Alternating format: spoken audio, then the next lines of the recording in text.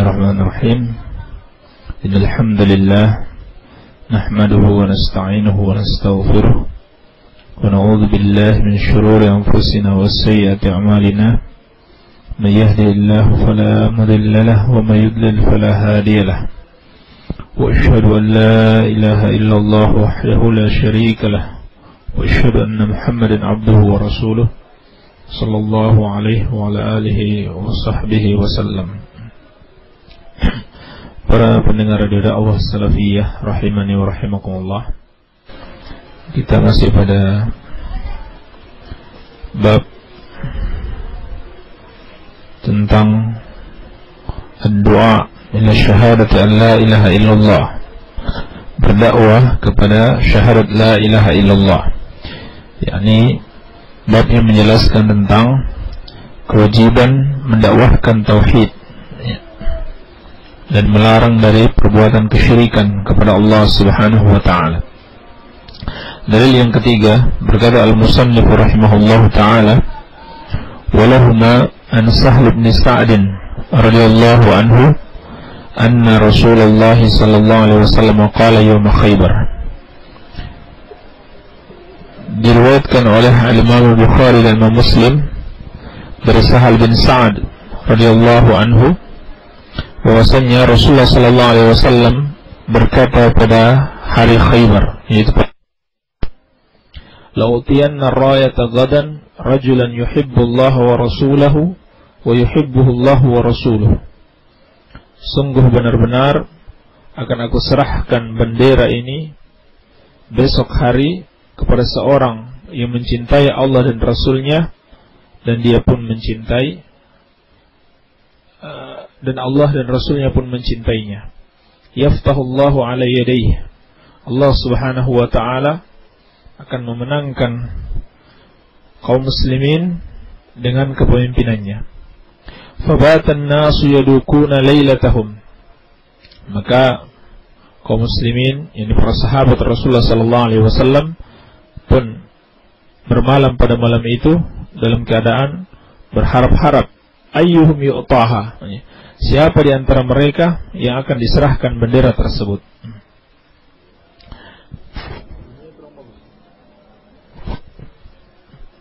Falamma asbahu ghadaw ala Rasulillah sallallahu alaihi wa ala alihi wasallam.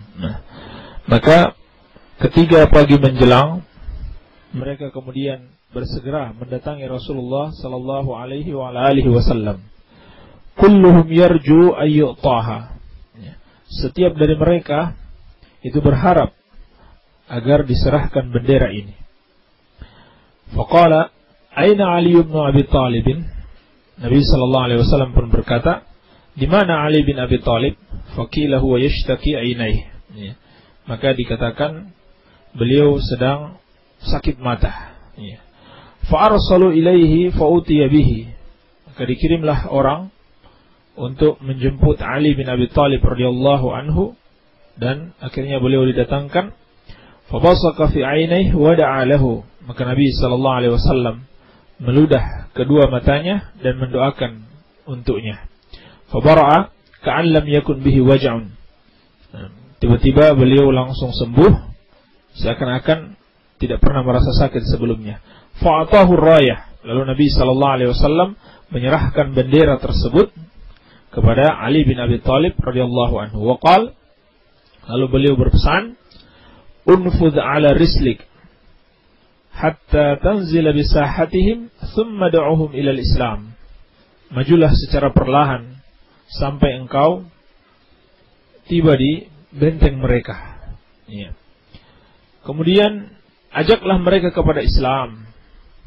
Wa akhbirhum bima yajibu alaihi min haqqillahi ta'ala fihi dan kabarkan kepada mereka apa yang wajib mereka kerjakan dari hak-hak Allah Subhanahu wa taala yang ada dalam Islam. Fa wallahi lan yahdi Allah bika rajulan wahidan khairun laka min humrin na'am. Maka demi Allah tidaklah Allah Subhanahu wa taala eh, andai kata Allah Subhanahu wa taala memberikan hidayah kepada seseorang melalui engkau, maka itu lebih baik bagimu dibanding unta merah. Iya. Inilah hadis kita pada pagi hari ini yang menceritakan tentang keutamaan berdakwah kepada Allah Subhanahu wa taala dan kewajiban menyampaikan dakwah tauhid. Hadis ini diriwayatkan oleh Al-Imam Al-Bukhari dan Imam Muslim dari sahabat yang mulia Sahal bin Sa'ad. Ya. Sahal bin Sa'ad ibn Malik ibn Khalid Al-Ansari. Beliau dari kaum Ansar dari suku Khazraj As-Sa'idi seorang sahabat yang masyhur meninggal pada tahun 88 Hijriah pada umur yang telah melewati 100 tahun. Iya. Beliau menceritakan bahwasannya Rasulullah sallallahu alaihi wasallam pada peperangan Khaybar, ya. Peperangan Khaybar ini adalah peperangan terhadap orang-orang Yahudi, ya. Yahudi Bani Nadir yang terjadi pada tahun ke-7 Hijriah. Pada tahun ke-7 Hijriah sebelum terjadinya uh, perdamaian Hudaybiyah ya. Perdamaian atau perjanjian Hudaybiyah. Baik. Dan Nabi Shallallahu alaihi wasallam ketika itu mengepung ya, benteng Yahudi selama berhari-hari lamanya ya. Sampai-sampai para sahabat merasakan betapa berat ya tantangan yang mereka hadapi sudah berhari-hari tapi tidak juga bisa uh, mengalahkan atau menguasai benteng Yahudi tersebut. Iya. Sampai kemudian Rasulullah Sallallahu Alaihi Wasallam mengabarkan hadis ini sebagai kabar gembira akan kemenangan kaum muslimin. Iya. Nabi Sallallahu Alaihi Wasallam mengatakan pada hari Khaybar, iya, setelah terjadi pengepungan beberapa hari lamanya, Beliau kemudian bersabda, "La utiyanna rayata gadan rajulan yuhibbullah wa rasulah." Sungguh benar-benar aku akan berikan bendera ini besok hari pada seorang yang mencintai Allah dan Rasulnya. Pada seorang yang mencintai Allah Subhanahu wa taala dan Rasulnya. Ya. Di sini ada isbatul mahabbah lillah, ya. Penetapan sifat mahabbah bagi Allah Subhanahu wa taala. Ya. sifat mahabbah Allah dari dua sisi. Annahu yuhibbu wa yuhab. Bahwasanya Allah Subhanahu wa taala mencintai dan dicintai. Ya. Namun tentunya bagaimana Allah mencintai tidaklah seperti mencintainya makhluk, ya. Mencintainya Allah Subhanahu wa taala adalah sesuai dengan kebesaran dan keagungan Allah Subhanahu wa taala. Ya. Maka ahlu sunnah mengimani Allah subhanahu wa ta'ala memiliki sifat mahabbah. Ya. Yang tidak sama dengan mahabbahnya makhluk. Ya. Tidak sama dengan sifat cintanya makhluk. Ya. Tetapi sesuai dengan kebesaran dan keagungan Allah subhanahu wa ta'ala. Ya. Dan tidak boleh kemudian kita melakukan tashbih atau tamthil menyerupai menyerupakan sifat Allah Subhanahu wa taala dengan sifat makhluk, ya. Tidak boleh kita samakan antara cinta yang merupakan sifat Allah dan cinta yang merupakan sifat makhluk, ya. Kalau antara makhluk dengan makhluk saja berbeda, antara sifat cinta satu dengan yang lainnya, maka bagaimana lagi dengan makhluk dengan Allah Subhanahu wa taala. Demikian pula sifat-sifat yang lainnya. Baik sifat zatiyah maupun sifat fi'liyah. Ya. Sifat zatiyah yaitu yang berhubungan dengan zat Allah Subhanahu wa taala seperti telah dikabarkan dalam Al-Qur'an dan dalam As-Sunnah Allah Subhanahu wa taala memiliki tangan ya Allah memiliki wajah jangan kita bayangkan tangan Allah seperti tangan makhluk atau wajah Allah seperti wajah makhluk tidak sama sekali ya kalau antara makhluk saja berbeda apalagi antara makhluk dengan al-khaliq dengan Allah Subhanahu wa taala. Dan Allah telah mengabarkan dalam Al-Qur'an, "Laisa kamitslihi syai'un wa huwas samiul basir." Dalam surat Asy-Syura, tidak ada yang serupa dengan Allah dan Dia Maha mendengar lagi Maha melihat. Iya. Tidak ada yang serupa dengan Allah Subhanahu wa taala. Ya. Maka termasuk penyimpangan di dalam asma wa sifat, di dalam tauhidul asma wa sifat apabila seorang menyamakan sifat Allah dengan sifat makhluk. Iya.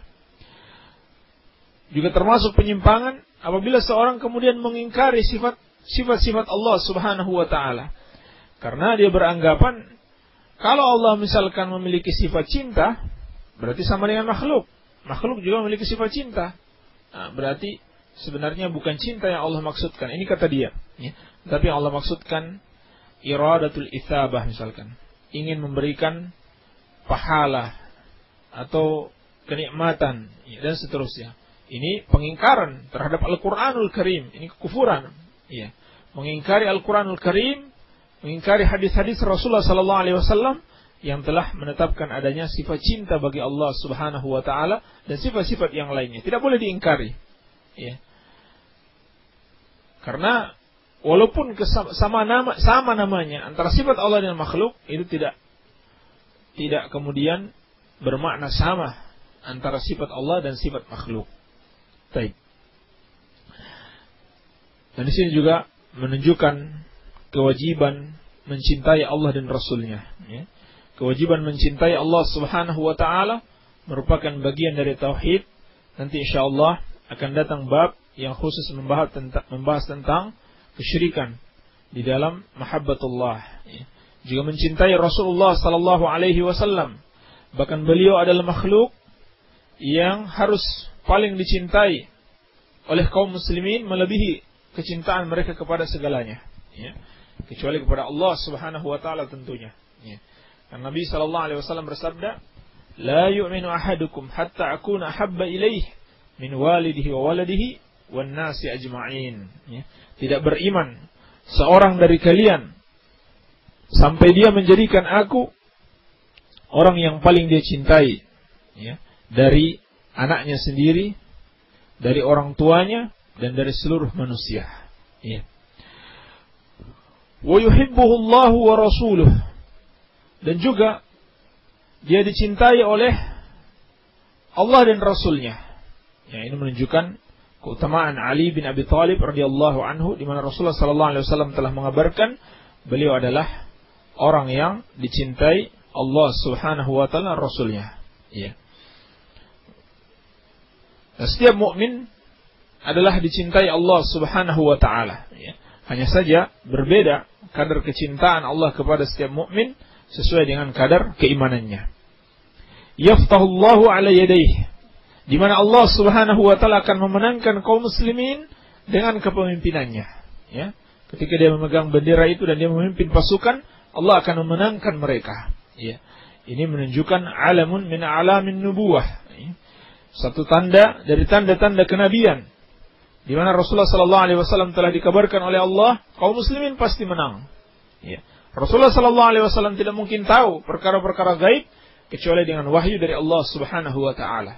Maka ini merupakan tanda-tanda kenabian di mana beliau telah mengetahui apa yang akan terjadi dari wahyu yang Allah sampaikan kepadanya. Ya, dan benar-benar kaum muslimin meraih kemenangan yang besar ya pada perang Khaybar tersebut mengalahkan Yahudi bin Nadir Fabatan nasu yadukuna lailatahum ayyuhum yu'taha.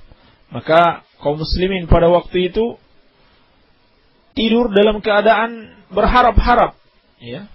Dan ber, mereka saling membicarakan kira-kira siapa yang akan diberikan bendera tersebut ya. Masing-masing berharap ya, agar diberikan bendera tersebut oleh Rasulullah sallallahu alaihi wasallam. Kenapa? Karena Rasulullah telah mengatakan seorang itu mencintai Allah dan Rasulnya Allah dan Rasulnya juga mencintai dia. Dan Allah akan memberikan kemenangan kepada kaum muslimin dengan kepemimpinannya. Sampai-sampai kata Umar bin Khattab radhiyallahu anhu dalam riwayat Muslim, "Mahbabtul imarah illa yawma idzin." Ya, kata Umar, aku tidak pernah menginginkan kepemimpinan kecuali pada hari itu. Kecuali pada hari itu. Iya. Dan asalnya Kepemimpinan itu tidak boleh diraih dengan ambisi, ya. Apalagi diminta, ya. Apalagi mengemis kepada rakyat untuk minta dipilih sebagai pemimpin, ya. Nabi Shallallahu alaihi wasallam telah berpesan, "Janganlah engkau meminta kepemimpinan. La tas'alil imarah. Fa innaka in utitaha an ghairi mas'alatin uinta 'alaiha wa in utitaha an mas'alatin wukilta ilaika. Ya, kata Nabi sallallahu alaihi wasallam kepada Abdurrahman bin Samurah radhiyallahu anhu, janganlah engkau meminta kepemimpinan. Ya, yani jangan engkau meraih kepemimpinan dengan ambisi, ya, dengan mengemis jabatan, ya, meminta-minta kepada rakyat atau meminta kepada penguasa untuk dijadikan ini dan dijadikan itu ya sebagai bagian dari penguasa. Karena kalau engkau mendapatkan kepemimpinan itu dengan tanpa memintanya, maka engkau akan ditolong. Tapi kalau engkau meminta-minta kepemimpinan tersebut, maka akan dibiarkan engkau mengurusnya sendiri. Ya, artinya tidak ditolong oleh Allah Subhanahu wa taala. Ya. Tapi di sini karena Rasulullah SAW telah mengabarkan Allah pasti akan menolongnya dengan kemenangan dan Allah mencintainya dan dia mencintai Allah, maka Umar mengatakan, "Ahbabtu ya ah, ma ahbabtul imarah illa yawma idzin." Ya, aku tidak pernah menginginkan kepemimpinan kecuali pada hari itu. Iya. Menunjukkan kepemimpinan tidak boleh untuk diraih dengan ambisi. Iya. Falamma asbahu ghadaw ala Rasulillah sallallahu alaihi wasallam kulluhum yarju ayyutaha. Maka ketika pagi menjelang, mereka pun bersegera, ya, para sahabat bersegera menuju kepada Rasulullah sallallahu alaihi wasallam.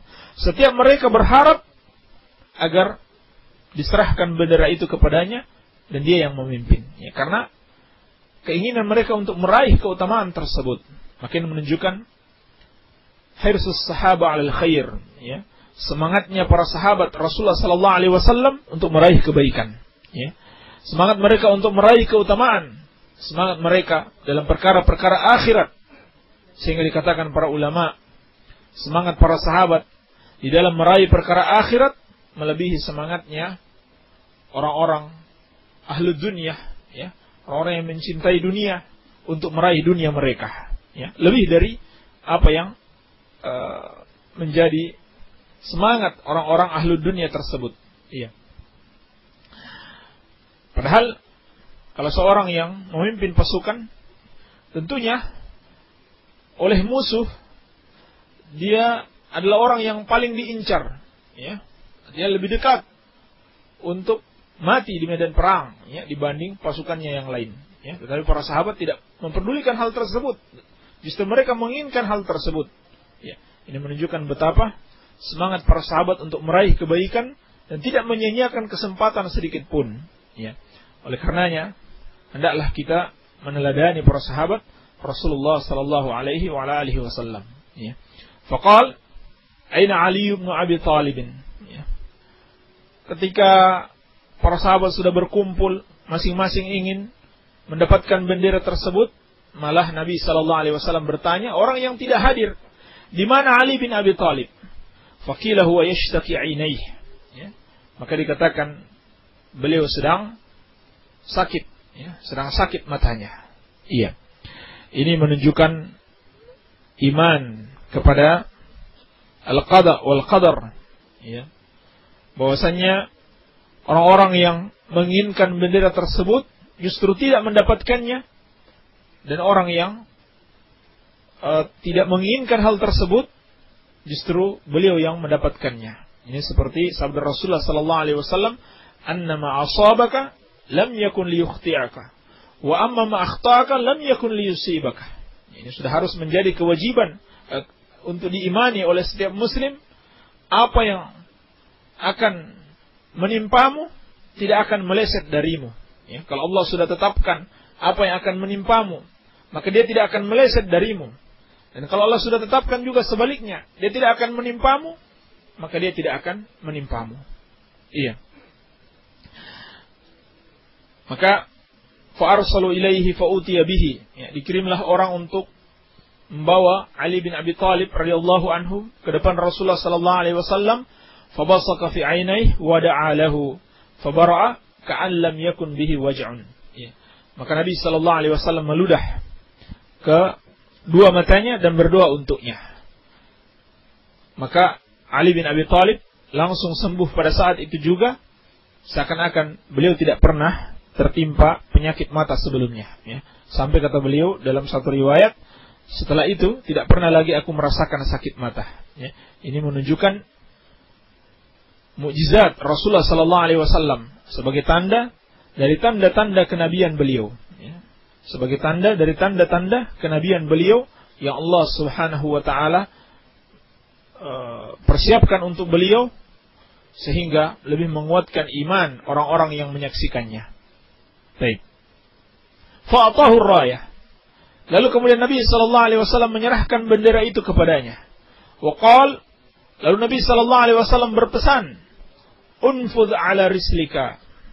Majulah secara perlahan hatta tanzila bisahatihim sampai engkau turun di benteng mereka, di halaman benteng mereka.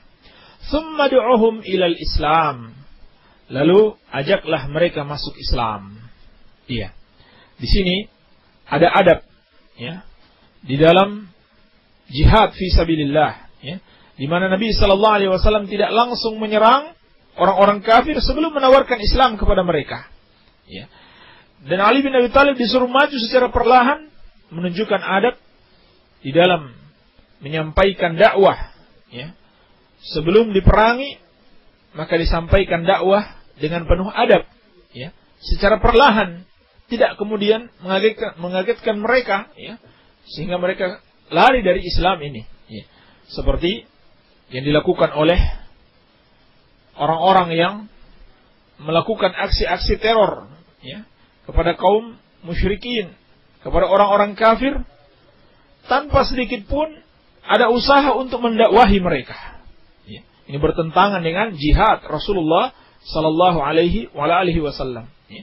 Tapi kata Nabi sallallahu alaihi wasallam, "Unfudh 'ala rislika hatta tanzila bisahatihim, thumma du'uhum ila islam Ya. Majulah secara perlahan sampai engkau tiba di benteng mereka dan ajaklah mereka untuk masuk Islam. Iya. Maka di sini juga ada perintah untuk berdakwah kepada Allah Subhanahu wa taala, berdakwah kepada Islam, ya. Dan Islam yang dimaksud di sini sebagaimana dijelaskan para ulama Al-istislamu lillahi bitauhid wal inqiyadu lahu bitta'ah wal bara'atu minasyirki wa ahli.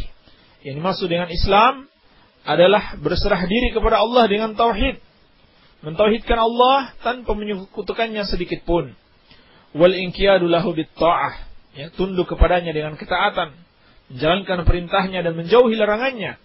Dan berlepas diri dari kesyirikan dan pelakunya. Inilah Islam. Ya. Mentauhidkan Allah taat kepadanya dan membenci kesyirikan dan pelakunya. Ya. Siapa yang tidak mentauhidkan Allah atau siapa yang tidak membenci kesyirikan dan pelakunya, maka dia belumlah dianggap sebagai seorang muslim. Iya. Maka di sini ada perintah untuk berdakwah kepada tauhid, berdakwah kepada Islam. Setelah itu, kalau mereka telah beriman kepada Islam, telah masuk Islam, maka wa akhbirhum bima yajibu alaihim min haqqillahi ta'ala fihi. Kabarkan kepada mereka tentang kewajiban-kewajiban mereka dalam Islam.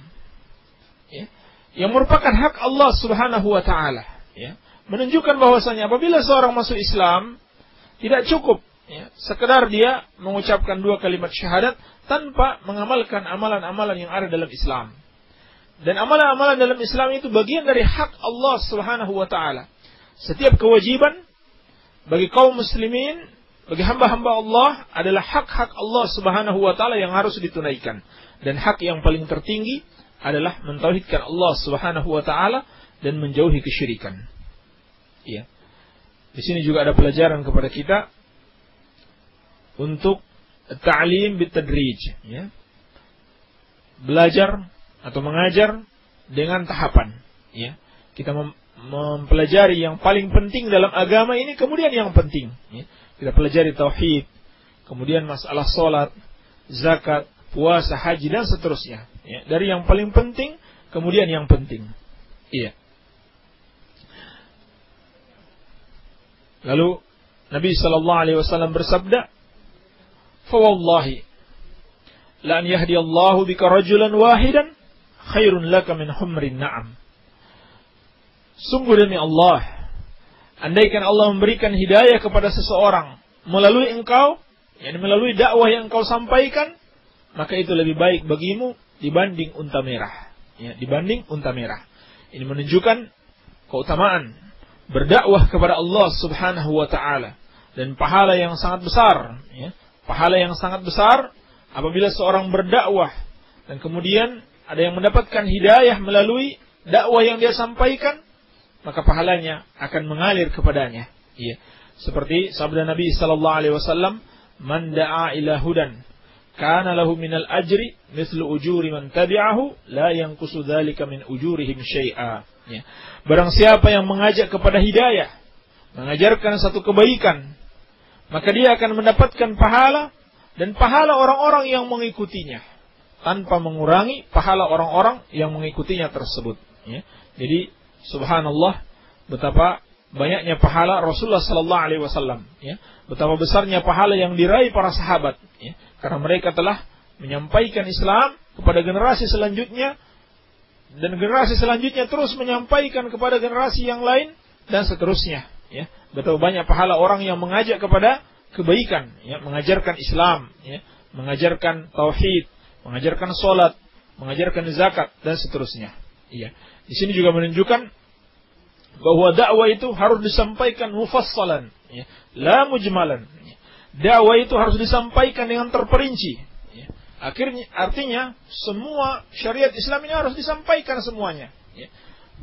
Dan tentunya dengan bertahap. Ya. Sampaikan tentang tauhid dulu, tentang sholat, tentang zakat. Lalu sholat pun diperinci.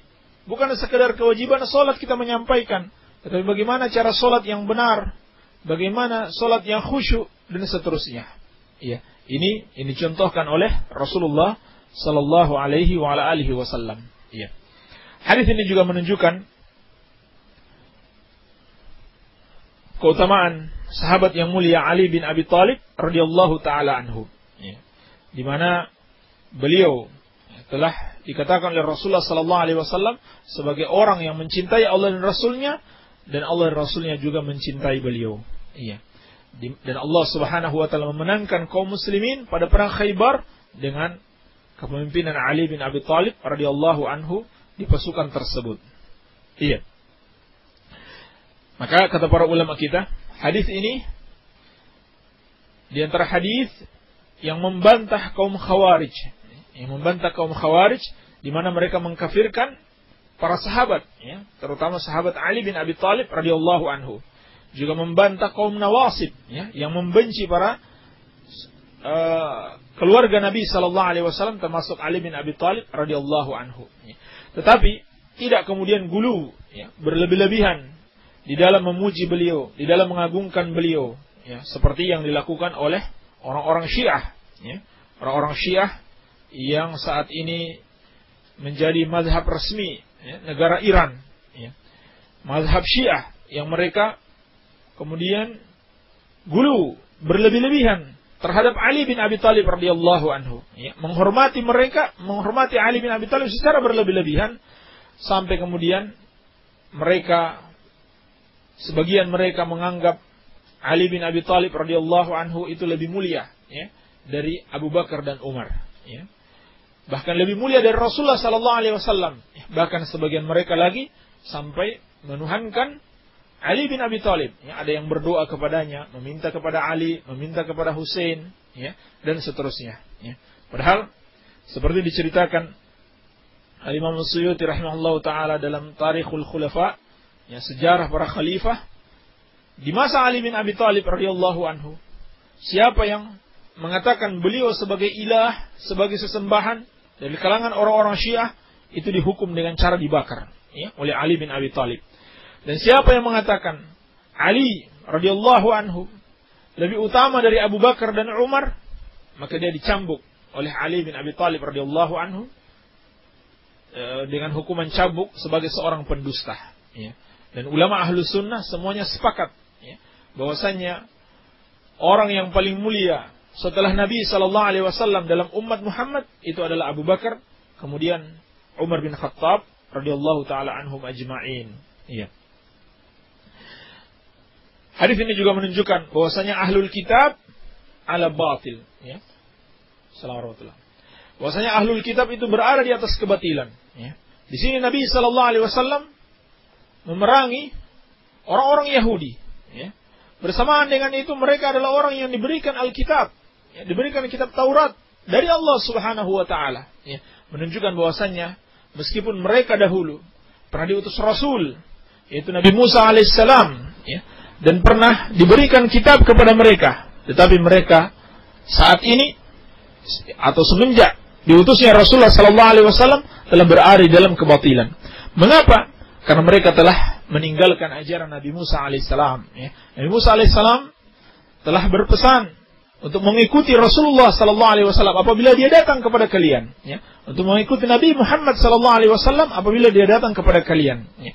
dan mereka telah merubah-rubah isi kitab ya, Taurat yang diserah yang diturunkan Allah Subhanahu wa taala kepada mereka melalui Nabi Musa alaihissalam ya. Oleh karenanya dalam hadis yang diriwayatkan Imam Muslim Nabi sallallahu alaihi wasallam bersabda "Walladzi nafsi biyadihi" ya. Demi zat yang jiwaku ada di tangannya la yasma'u bi ahadun min hadhihi ummah tidaklah mendengarkan tentang aku seorang dari umat ini Yahudiyun wala Nasraniyun. Apakah dia seorang Yahudi ataukah seorang Nasrani? Falam yu'min billadhi ursiltu bihi illa kana min ashabin nar. Kemudian dia tidak beriman dengan Islam yang dibawa oleh Rasulullah sallallahu alaihi wasallam, maka dia pasti termasuk penghuni neraka. Ya.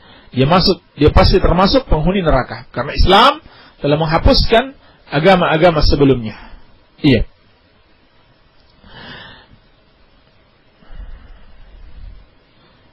Para pendengar radio dakwah salafiyah rahimani wa rahimakumullah. Inilah beberapa penjelasan para ulama tentang hadis ini ya, yang intinya menunjukkan kewajiban untuk berdakwah kepada Islam ya, dan mendakwahkan kewajiban-kewajiban yang ada dalam Islam ya, dan menunjukkan keutamaan yang sangat besar apabila seorang diberikan hidayah oleh Allah Subhanahu wa taala melalui dakwah yang disampaikan tersebut. Iya. Semoga ada manfaatnya. Wabillahi taufik. Walhamdulillahirabbil alamin.